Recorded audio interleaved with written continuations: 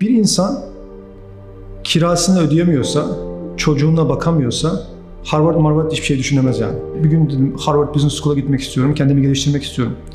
Dedi ki kolay değil, yapamazsın falan filan. Böyle böyle itici bir şey söyledi.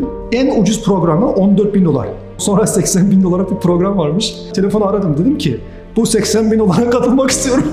Şöyle ön yargıdan ne kadar kötü olduğunu hissediyorsunuz. Hani Harvard'da bir Türk şirketinin, Türkiye'den gelen bir şirketinin, Türkiye'deki kurucusunun hikayesini okumak bana başka bir onur verdi. O kadar güzel bir şey ki. Düşün yani kitaplardan öğrenmiyorsunuz. O adamın kendisinden öğreniyorsunuz. Şirketin kendisinden öğreniyorsunuz. Eğer sizin bulunduğunuz ortamda siz en akıllı insansanız muhtemelen yanlış bir ortamdasınız yani.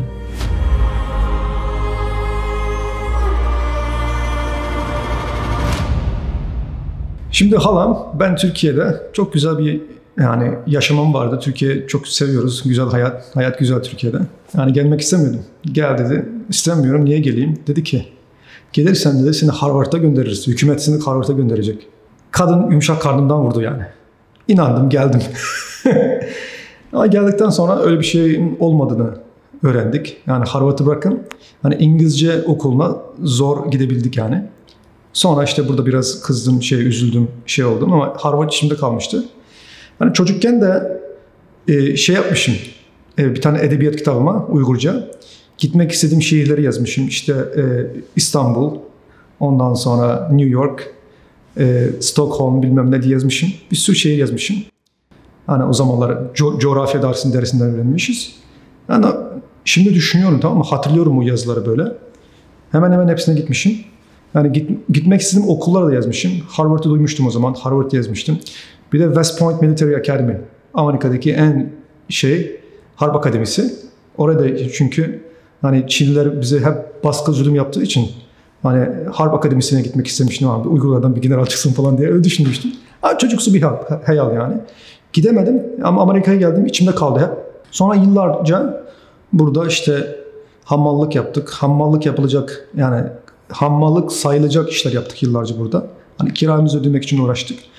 Bir insan kirasını ödeyemiyorsa, çocuğuna bakamıyorsa Harvard Harvard hiçbir şey düşünemez yani.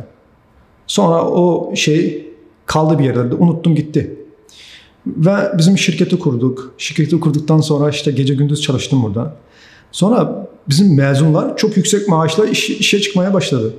Normalde ben yıllardır ailemi hiç şeye götüremedim, tatile götüremedim. Sonra bakıyorum Instagram'dan bizim öğrencileri takip ediyorum ya ben hani takip ediyorum ne olur hayatında nasıl değişiklikler var diye. Biri çok güzel arabaları koyuyor işte bundan sonra işte böyle Lexus sürüyorum, BMW sürüyorum diye. Arabalarını Instagram'a koyuyor.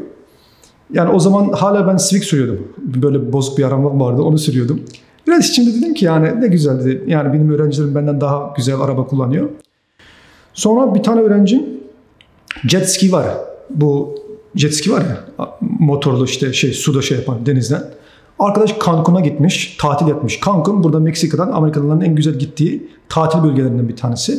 Cancun'da tatil yapıyor.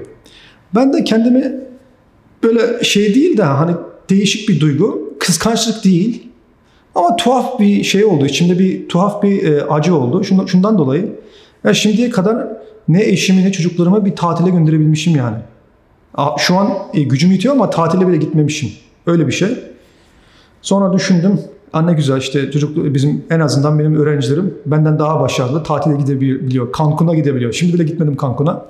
Neyse arada ilk defa 10 küsür bin dolar elime para geçti. Hani onların da aslında eline para geçti. Çünkü maaş yüksek olduğu için e, ayda belki 7-8 bin 10 bin kazanıyordur. Yani 2-3 ayda bir kere tatile gidebilecek bir şekilde para toplamışlar. Şimdi ben e, elime, ilk, elime ilk para geçtiğinde şöyle yaptım. Hani bu işi başlatmadan da önce de hani söylemiştim ya eski videolarımda. Hani saatlığım 7 dolar zamanında 3 saat çalışıp bir kitap alıyordum. Onun gibi yine kendime eğitimime yatırayım dedim. İşte Google'dan araştırma yaptım. Şimdi Harvard Extension School'a baktım, şuna baktım, buna baktım. Baktım normal üniversite. Ondan sonra hatırlıyorum bizim community'de e, bizim hani toplumdaki arkadaşlarım bir tanesi yani başarmış, üniversiteye gitmiş, IT'de çalışan IT'ci arkadaşlarından bir tanesi. Ben dedim ki yani laftan laf çıktı bir gün.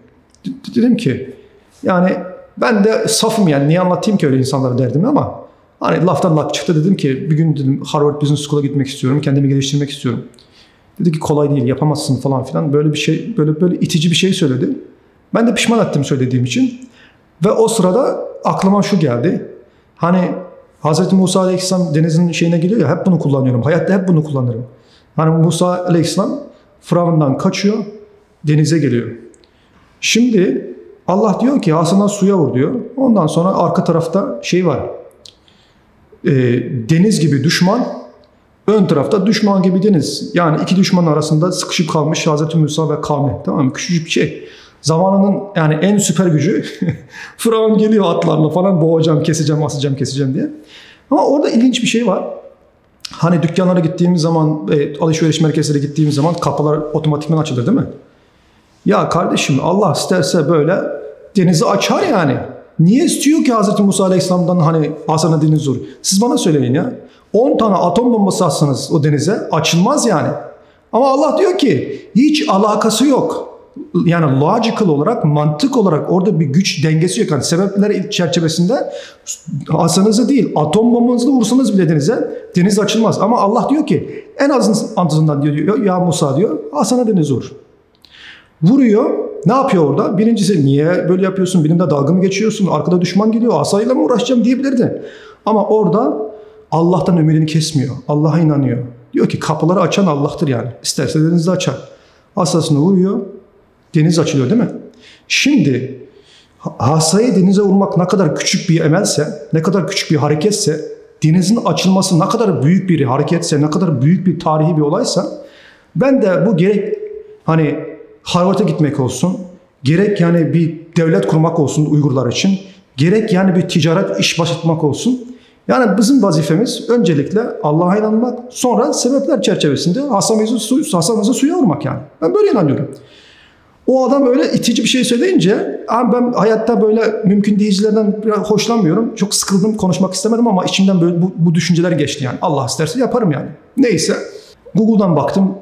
E, Google Online dedim. Ya şey Harvard Online diye bastım. Harvard Extension School diye bastım. Bastım bastım bir Executive Education diye çıktı. Çıkınca ne demek Harvard Executive Education? Executive'ler şimdi şirketin yönetim kurulu üyelerine executive'ler diyor. Hani şirket yöneten insanlar bu illa da C-level olmasına gerekiyor. Yani CEO, CFO olmasına gerekiyor. Yani şirket yöneten insanlar. Baktım orada bir sürü program var. En ucuz programı 14 bin dolar. Tamam mı?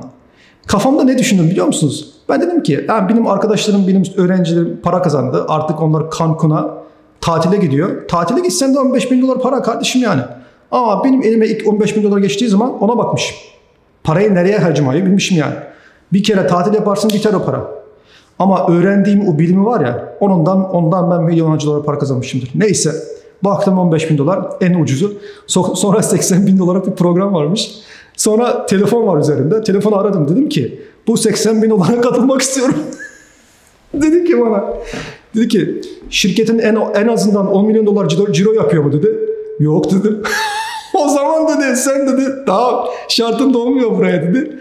Sonra dedi ki biraz soru sordu bana.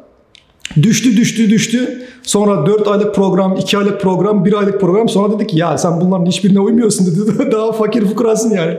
Bu level'da değilsin.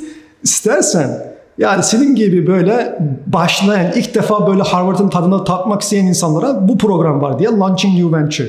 Yani yeni bir girişim. Tamam girişimciler için girişim hayatına yeni giriyorsunuz. Şirket nasıl kurulur? Idealar nasıl üzerinden gidilir? Böyle küçük bir şey tamam Ben dedim neyse.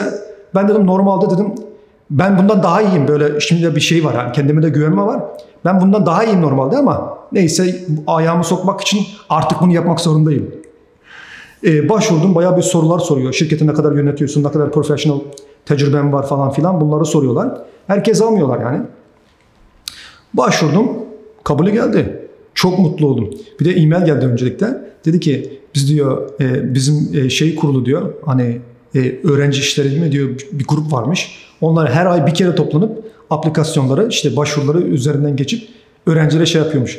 Ben de düşündüm yani benim gibi fakir fukara Orta Asya'dan gelmiş bir mülteci yani almazsa o da yani yapacak bir şey yok artık diye böyle şey yaptım. Hayatta çok e, şey yiyince darbe yiyince arda arda hani çok fazla beklentiye girmiyorsunuz kendinizi. Neyse olsa oldu olmasa ne yapayım ya kitaplardan öğreneyim artık diye oturdum bir gün email geldi. E, congratulations yani başarılar yani tebrikler kabul edildim. Çok mutlu oldum. Eşim çok mutlu oldu. Sonra işte 15 bin dolar ödeyip 2018'den bir haftalık 5 günlük programa gittim. 5 günlük program 15 bin dolar. Boston'da Cambridge diye bir şey var, bölgesi var. Bütün Cambridge şey, orada e, bir nehir var. Adını unuttum. Ayıp. Çok ayıp yani gittim okulun nehirini unuttum. Orada bir nehir var. Nehirin karşı tarafında MIT var. MIT çok bilinen bir teknoloji dünyanın en güzel teknoloji okulu. Bu tarafta Harvard Business School var. Sonra orada yazılar yazılıyor. İşte geldiğin zaman check-in yapacaksın işte falan filan. Ee, senin yat, kalacağın odalar olacak. Ben de şaşırdım yani. Yani öğrenci yurdu gibi bir şey düşündüm. Çünkü İstanbul'da Cevizlibağ öğrenci yurdunda kalıyorduk. Arkadaşlarına affedersiniz ayakkabı kokusu falan filan öyle şeyler. Böyle dört tane ayak. Bir de o kadar dardı ki akşam ben uyuyakaldığım zaman elimi açarsam öbür taraftaki arkadaşa vururum tamam mı? Bu kadar dar bir yer. Ben de düşün herhalde Harvard olunca biraz daha geniş oluyor diye düşündüm yani. Ama işte arabayla girdik. Böyle bir Chow Center diye e, bir tane center varmış. Çinli milyarderin e, yani şey yaptı, bağış yaptı bir bina varmış. Sonra o binanın önüne işte bizim taksi havalimanından getirdi, oraya bıraktı. Sonra bakıyorum kapıyı şeyler açıyor. Hani otel çalışanları gibi kapıyı açıyor, çantalarımı alıyor, ben de neler oluyor falan. Sonra şeyimi koydu çantalarımı, içeriye girdim. Check-in yaptı, işte senin odan olacak dedi. Sonra gerçekten e, bir oda yani otel odası gibi, stüdyo gibi düşün yani. Stüdyo size dediğimiz yani orada içinde mutfağı var, banyosu var bilmem ne. O kadar kaliteli bir otel gibi yani. Çok güzel bir otel odası gibi. Giriyorsunuz. Living Group diye bir yer var. Onun resimleri vardı arkadaşlar bakar çıkartır oradan. Living Group'ta şöyle oluyor. Hani bir grup insanı bir yere koyuyorlar çünkü Harvard'ın eğitim sisteminde hani sadece öğretmenlerin öğrenme değil. Yani dünyanın dört bir yanından oraya gelen yöneticiler işte girişimciler geldiği için orada birbirinden bile öğrensinler yani. Yani diverse bir ortam olsun ki birbirine diyalog içine girsinler. İşte Brezilya'dan gelen, işte Meksika'dan gelen, Japonya'dan gelen, Amerika'dan gelen grupları koyuyorlar. Biri işte e, eğitim işinde, biri teknoloji işinde, biri e, yani satış işinde neyse değişik insanlar koyuyorlar. Herkes birbirinden bir şey öğrensinler. Çok güzel bir şey. Oradan geçiyorsunuz salondan. İşte 8 tane oda var. Yani bir grup 8 kişi. Böyle giriyorsunuz iki böyle böyle. Benim de odama girdim. Çok mutlu oldum, çok heyecanladım. Case'ler vardı böyle. Yani kaç tane case ya? Bir günde 3 20 tane case olabilir yani. 20 tane case demek biliyor musunuz? Yani A4 kağıt, kağıdında 14 sayfa tanesi böyle gönderiyor size. Dropbox hakkında, Rent Runway, ondan sonra bir şirketin kurulması, Amazon nasıl şey yapıldı, Amazon bir sıkıntılardan nasıl geçti birkaç tane böyle case'ler var. Burada Harvard'ın öğretim sistemi çok güzel. Hani normalde marketing nedir? Pazarlama işi nedir? Böyle teorik şeyler değil bir şirketin gerçek problemleri üzerinden bir girişimcinin gerçek problemleri üzerinden onun araştırmasını yapıyor ve onun adım adım yaşadığı sıkıntılar, o sıkıntıların üzerinden nasıl gidiyor, karar vermek zorunda kaldığı zaman nasıl karar verecek falan normalde soruyla bitiyor. Böyle bir problemle karşılaştı tamam mı? Bunun şeyi nedir? Yani bunu nasıl sen olsan nasıl, ne yapardın diye. Şimdi bunu okumamız lazım daha önceden. Şimdi bunu ben şeyleri bastırdım, okuyordum falan. Ondan sonra işte restoranı var orada yemek yiyorsunuz. Ondan sonra sabah saat 8'de ders başlıyor. 8'de başlıyor 9'da başlamıyor. 33 ülkeden 100 küsür kişi vardı yani. 100 gibi kişi vardır yani. Bunun içinde çok tuhaf insanlar vardı. Dedi ki bizi gruplara böldü. Dedi ki siz önce dedi, kendi grubunuzla 8 kişiyle konuşacaksınız. Tamam mı? Ondan sonra herkes çok tuhaf bir olay söyleyecek kendi hayatı hakkında. Çok tuhaf bir şey söyleyecek. Yani ilginç olan bir şey söyleyecek. Ondan sonra kimin en ilginçse onu seçeceksiniz. Öyle şey break the ice diyor ya burada. Hani insanlar ısınsın diye böyle bir şey kurmuşlar. Sonra anlattı ben de anlattım ya mülteciyim dedim. Adamlar şaşırdı ne mülteci dedim. Mülteciyim. Ben dedim halam dedim kandırarak getirdi beni Amerika'ya Harvard okuyacaksın diye diye. Yıllar sonra kendim gelebildim dedim. Ona da teşekkür ederim dedim. Çok tuhafmış da hikayesini anlattım. Ondan sonra bir tane e, Brezilyalı bir adam Şöyle ön yargının ne kadar kötü olduğunu hissediyorsunuz. Adamın İngilizce konuşmasına baktım hocam. Şöyle gözünüzde adamın konuşmasına bakıp bu adamdan hani bir şey olur mu olmaz mı diye insan sonuçta. Yani insan da ön yargı olur yani. Bir baktığınız zaman bir fiyat biçmeye kalkarsınız değil mi? Adam oturdu tamam mı dedi ki benim dedi temizlik şirketim vardı diye bütün otellere işte hastanelerin e, çarşaflarını işte şeylerini yıkıyordum diyor. 300 milyon dolara sattım dedi. Sınıf arkadaşım. Bundan sonra ne yapacağım acaba hayatta? Onun için geldim Yeni şeyleri öğrenmek için dedi tamam mı? Adam yaşlı bir adam yani 300 milyon dolar şirkete mi sattım diyor. Bozuk İngilizcesiyle. Demek ki yani böyle de şey oluyor. Ondan sonra e, Malezya'dan Hindistanlı bir adam geldi. Dedi ki ben dedi özel uçak jet satıcısıyım diyor. Jet satıyorum diyor. Özel uçak satıyorum diyor. Abi benim çoğunluk müşterim diyor. Çinli müşterileri diyor tamam mı? Çin'den diyor yolsuzluğa karışmış şeyler var diyor. Hükümet e, yani bakanlar bilmem neler Çin'den geliyor diyor. Şimdi onlar o e, kara parasını aklamak için yani bir de o parayı şey yapmak için yani ne yapacak adamların 100 milyon dolar parası var. Yani hepsini yatağın altında saklayacak hali yok ya. Geliyorlar diyor uçak alıyorlar ve uçağı diyor park ediyorlar diyor. Öyle yatırım olarak koyuyorlar diyor. Tamam mı? dedi ki ben buraya gelmeden önce dedi Çinli bir bakana dedi 80 milyon dolara uçak sattım geldi dedi. Çok saçma şeyler böyle aklımda kalmış onlar. İşte bir hafta boyunca Amazon'un çektiği sıkıntılar, Amazon'un döneminde işte batmadan önceki çektiği sıkıntıları, ya batma işine gelmiş Amazon. Onu anlattılar. İşte Dropbox diye anlattılar. Buradaki Mark 37, Mark 37 diye bir şirket varmış burada. Adam yazılımcı küçük bir şirket. 2-3 kişi e, polislerin bu rapor alma şeyi var ya Amerika'da. Eskiden o kadar polislerin canından bezdirmiş yani o şey e, şey atma şeysi yazıyorlar ondan sonra evine götürüyorlar iş, ofisine dönüyorlar polisler böyle yazıyla sokuyorlar şeye yani sisteme e, giriyorlar. Adam da bunun şeyini üretmiş yazılımı ta sıfırdan başlayıp onu öğretiyor size. İşte bir hafta onu okudum. KCD'miz Harvard'ın Hani hocaları gönderiyor, araştırmacıları. Diyelim ki Amazon'a gönderiyor, Alibaba'ya gönderiyor, Dropbox'a gönderiyor, Google'a gönderiyor. İşte tamam diyen şirketlere gönderiyor ve orada o adam bir ay kalıyor mesela, iki ay kalıyor. Bu şirketteki yöneticilerle e, onları mülakat onları mülakat ediyor, interview yapıyor. İşte onların işte notlarını tutuyor, videoya çekiyor. Ondan sonra bu araştırma sonucunda bir şirketin gerçek hayatta karşılaştığı sıkıntılar, problemler, başarılar bunların hepsini yoğurup yani bir tane case yapıyorlar. Bu case'in içine girince o şirketin içinde yaşamış gibi, o şirketteki insanlara çalışmış gibi böyle çok güzel bir şekilde öğreniyorsunuz. Ki normal ticari kitaplarda yani marketing nedir, şu nedir, bu nedir, bunu böyle değil yani. Bu hikayeleri anlattığı için, hikayeler derken kısalarla anlattığı için çok güzel öğreniyorsunuz. Aslında bu Kur'an-ı Kerim metodu yani. Kur'an-ı Kerim'de şey gibi hani anayasa gibi şunu yaparsan asarım bunu yaparsan keserim demiyor yani. Orada kıssalarla Hz. Musa böyle yapmış, Hz. İbrahim böyle yapmış. Bütün hikayelerle gözümüzde canlandığı için daha güzel öğreniyoruz ya. Aslında Harvard'da öğrenmiş yani. Hikayelerle öğretiyor. Yani bu case'leri şeyde diyebilirsiniz yani. Amazon hakkında kıssa yani. Harbiden söylüyorum yani hikayelerle anlatıyor. Şimdi bir gün baktım yani o günlerin bir tanesinde Pick Game var. Okumaya başladım. Sidar Şahin diyor. Şahin deyince hani ya muhtemelen Türktür yani şey yazıyor orada. Ondan sonra baktım Pick Game Trendyol'la başlıyor. İşte Trendyol'un kurucusu üyesinden bir tanesi. Trendyol'da yaşadıkları, Çin'de yaşadıkları Sayın Sidar Bey'in. Sonra onları anlatıyorlar. Sonra işte Pick Game'i nasıl kurdu. İki kişilik takım oldu. O zamanlar yani 2018'de.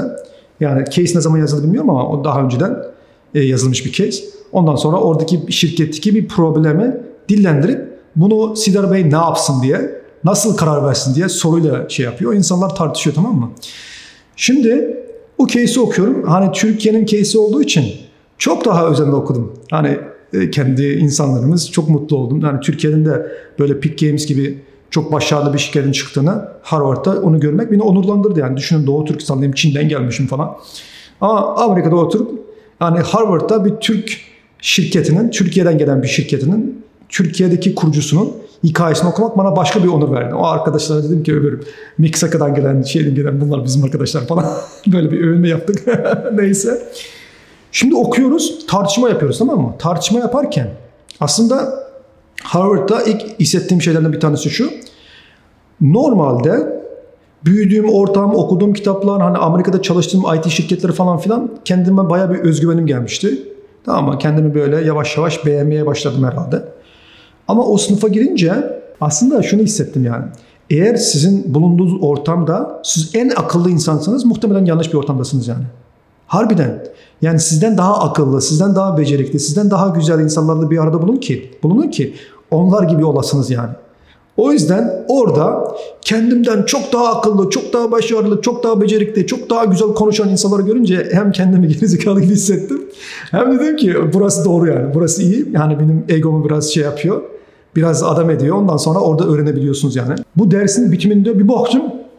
Ya Sidar Şah- Şahin Bey diyor geldi. Yani onun CFO'su ondan sonra CFO'su bilmiyorum bir tane e, çalışanı birkaç tane bir grup arkadaş geldi. Çok mutlu oldum ben orada. Ondan sonra Sidar Şahin Bey çıktı karşıya. Ondan sonra Harvard'da olan yani kendi şirketlerinde olan güzel şeyleri anlattı. O kadar güzel bir şey ki. Yani orada düşünün yani kitaplardan öğrenmiyorsunuz. Kitaplardan ticaret nedir falan filan böyle şeyler öğrenmiyorsunuz. Yani o adamın kendisinden öğreniyorsunuz. Şirketin kendisinden öğreniyorsunuz. Zamanında yani yanlış hatırlamıyorsam Ömer Bey diye onun yani finansal officer mıydı neydi işte bir büyük bir e, yöneticisiydi şirket ama çok genç bir çocuk. Çok genç, çok yakışıklı bir adam çocuktu yani. Dedi ki ben dedi arkadaşlar dedi bu, bu sene dedi eksperiment yapmak için yani tecrübe edinmek için 10 milyon dolar veriyorum. Bunu istediğin kadar kullan. Tamam mı? Onu dene bunu dene tecrübe edin yani. Para kullanmayı öğren. Çünkü seneye 100 milyon dolar vereceğim dedi yani. Böyle bir vizyon düşünün yani. 100 milyon dolar para vereceğim dedi. Ondan sonra işte sınıftan e, herkes soru sordu, şey yaptı. Çok güzel şeyler öğretti. İşte ilk Harvard şeyin bu, böyle oldu yani. Piyangoyu vurduk. Çok şey öğrendik. Ee, ondan sonra kendi biz haddimizi öğrendik. Bizden da, daha çok akıllı insanların olduğunu, bizim daha başarımızın böyle tırnak kadar bile olmadığını öğrenmiş olduk, geri döndük. Şirketime dönünce bütün karşılaştığım problemlere başka bir gözle bakmaya başladım. Orada öğrendiğim stratejiler falan filan tak tek göz, gözümün önüne gelmeye başladı. Yaptığım işleri nasıl daha iyi yapalım, yaparım. Nasıl bu şirketlerde öğrendiğim şeyleri daha iyi tetbik mi edebilirim falan. Bunları düşündük. Ve şöyle düşünüyorum. Ya gitmeseydim belki de yani şirket bu kadar büyümedi bilmem ama yüzde yüz ben oraya hani orada benim bir seçeneğim vardı. Değil mi? Yıllarca sürünmüşüz Amerika'da. Bir kere bir adam olmuşuz. Biraz elimize para geçmiş tamam mı? Bir bakıyorsunuz Instagram'da kendi öğrencilerim Cancun'da ski, jet skilerle geziyor. Ben loser bakıyorum 15 bin dolar param var. Orayı da harcayabilirdim yani. Eşim de şey yapabilirdi yani. Çinletebilirdi kulağımı. Diyebilirdi yani. Artık eskiden paramız yoktu. Beni niye tatile götürmüyorsun diyebilirdi yani. Şimdi orada elime geçen ilk 15 bin doları eğitime yatırdım ve hiçbir zaman pişman etmiyorum. Muhtemelen o eğitimden kazandığım para milyonlarca dolarda şu an. Yani bilgi çok önemli. O bilgiyi tetbik etmek de çok önemli. Ondan sonra gelir gelmez bir sene içerisinde apar topar bu şirketteki büyümeler falan filan değişiklikleri görünce ben dedim ki bu olmaz dedim. Bu yetmez dedim. Hatırlıyor musunuz telefon açarken bir büyük bir programa asılmıştım. Onlar da dedi ki sen dedi daha çok küçüksün buraya alamayız seni. Biraz adam ol falan. O programa tekrar başvurdum. Sonra kabul ettiler.